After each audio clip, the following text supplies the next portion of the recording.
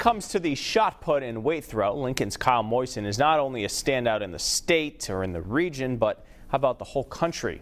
It's a path that will likely take him to success in college, but first he has some unfinished business here in Rhode Island. Here's JP Smallins with this week's Hometown Hero.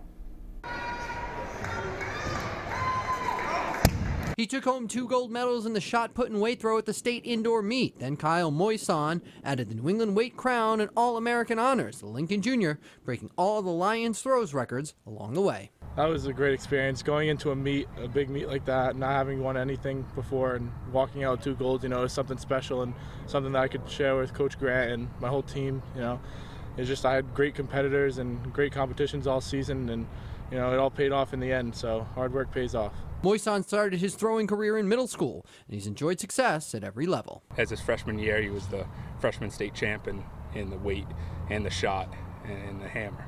So we would hope for big things, and the sophomore year did pretty good, and this indoor season he had a big jump, uh, especially in the weight and the, and the shot. Kyle's success has attracted attention from a host of college programs, and he's planning to begin touring schools this summer.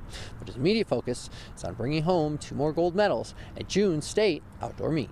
I'm very excited. You know, I'm, I want to see what's in store for me, and uh, I want to see what I can do in bigger levels. You know, I mean, high school is nice, but it'd be good to be a national champion in college someday. I just want a school with a really great educational program, so I can do stuff after my whole throwing career.